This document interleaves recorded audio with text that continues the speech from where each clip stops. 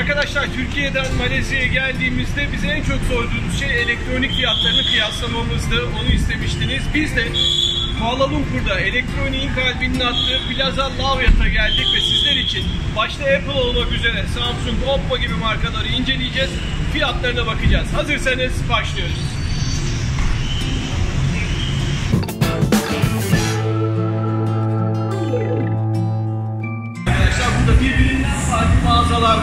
Dünyaca ünlü markalar var. Ülkemize yeni giriş yapan Oppo'yu da yerinde incelemek istedik. Burada mağazasını gördük. Ve sizler için fiyatları kıyaslamaya başlıyoruz. Hazırsanız girelim içeri. Oppo markası ülkemize çok daha sıcağı sıcağına girmiş bulunuyor. Daha önce ülkemizde satışı yoktu. Cihazlarını getirdi ve şu an etrafınıza baktığınızda birçok yerde RX17 modelini görüyorsunuz. İstedik. Oppo'yu burada R17 modeliyle satılıyor. R17 Pro olarak geçiyor arkadaşlar. Özelliklere bakalım. F1.5 ile F2.4 arasında diyafram açıklığını veriyor. 6.4 inçlik bir ekran olduğunu söylüyor. Bildiğimiz işte ülkemizdeki RX17'nin aslında e, Malezya'daki hali olarak değerlendirebiliriz. 2699 ringgitten satılıyor. Yani bunu 2700 ringgit dersek herhalde 3100-3200 lira gibi bir paraya geliyor. Buradaki fiyatıyla arkadaşlar bu elimde görmüş olduğunuz cihaz. Ee, şöyle arka tarafından hemen sizlere gösterelim cihazı. Güzel de bir rengi var. Hani mor gibi yanarlı dönerli bir rengi var cihazın. Ülkemizde henüz gidip de inceleme fırsatı bulamamıştık ama Malezya'da Kuala Lumpur'da işte cihazı sizler için görüyoruz. Çok küçük bir e, boşluk var arkadaşlar. Şöyle ışığa yaklaşırsam daha net görebileceksiniz. Öyle tahmin ediyorum. Ekran kasa oranının yüksek olduğu cihazlardan bir tanesi olmuş R17 ülkemizdeki adıyla RX17.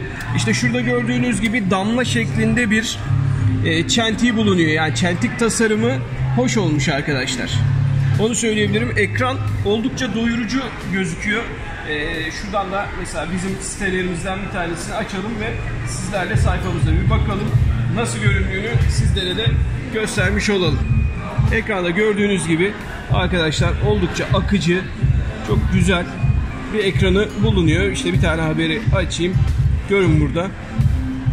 Hemen kamerayla ilgili de test yapabilmemiz için şuraya bir tane e, şey hazırlamışlar, bir sistem hazırlamışlar arkadaşlar. Karanlıkta bir çekimin nasıl olacağını e, soruyorlar. Bakalım biz de sizler için deneyelim. Karanlıkta bir çekim yapalım. Bakalım nasıl sonuç çıkacak. İsterseniz önce çekimi yaptığımız kamera Huawei P20 Pro. Onun kamerasıyla içeriye bir bakalım. Hemen ardından da ben sizler için bir Oppo ile çekim yapacağım. Bakalım neyle karşılaşacağız arkadaşlar. Şimdi hazırsanız aynı yeri Oppo ile çekiyorum. Hemen sonuca beraber bakalım arkadaşlar. Karanlıkta da iyi bir sonuç verdiğini ve işte Shaton Oppo linkinde altına ekleyebildiğini filigran olarak söylüyoruz. Benim kendi gözümle gördüğümden daha aydınlık görmüş. Onu söyleyebiliriz sizler için. Fiyat kıyaslaması yapacaksanız da 2700 lira, 2700 ringgit ee, üzerine ülkemizde artık işte 600 liranın üzerinde bir pasaporta işletmemeleri var. TRT bandrolü şunu bunu dediğinizde totalde 700-750 lira gibi bir para eklemeniz gerekiyor. 3200 küsür lira olduğunu düşünürsek yani totalde alıp bu pasaporta işletip Türkiye'de kullanman 4000 liraya mal olacak sana ama şu an ülkemizde de 5000 liraya satılan bir cihaz.